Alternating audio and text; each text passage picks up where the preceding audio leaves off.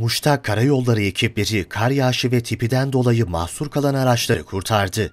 Kar yağışı ve tipi nedeniyle Muş Kulp Karayolu'nun 40. kilometresinde mahsur kalan araçları Muş Karayolları 113. Şube Şefliği ekipleri tarafından kurtarıldı. E, aşma esnasında zaten tipi olduğu için görmemiş operatörümüz. Görmediği için şarampole e, gitmiş tabi az kalmış. Yani Allah'tan fazla giderse e, araç gidermiş şarampola.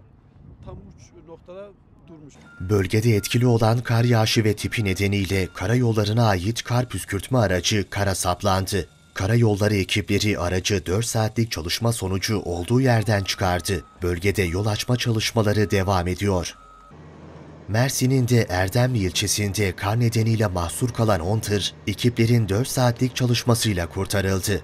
Alınan bilgiye göre ilçenin 1500 rakımdaki Tozlu mahallesinde etkili olan kar dolayısıyla mermer taşıyan tırlar mahsur kaldı. Sürücülerin yardım istemesi üzerine Büyükşehir Belediyesi Erdemli Koordinasyon Başkanlığı karla mücadele ekipleri iş makineleriyle yolu açarak araçlara ulaştı.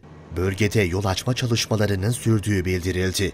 Samsun'da ise ilk adım ilçesinde buzlanma nedeniyle 10 aracın karıştığı trafik kazasında bir kişi yaralandı. Alınan bilgiye göre şehit Korhan Ekiz bulvarında buzlanmadan dolayı yokuş aşağı giden araçlar farklı noktalarda çarpıştı. Kazada yaralanan bir sürücü 112 acil servis ekiplerince Samsun Eğitim ve Araştırma Hastanesi'ne kaldırıldı. Trafik polisleri kazalar ve buzlanmadan dolayı yolu bir süre trafiğe kapattı. Belediye ekiplerinin tuzlama çalışmalarının ardından yol trafiğe tekrar açıldı.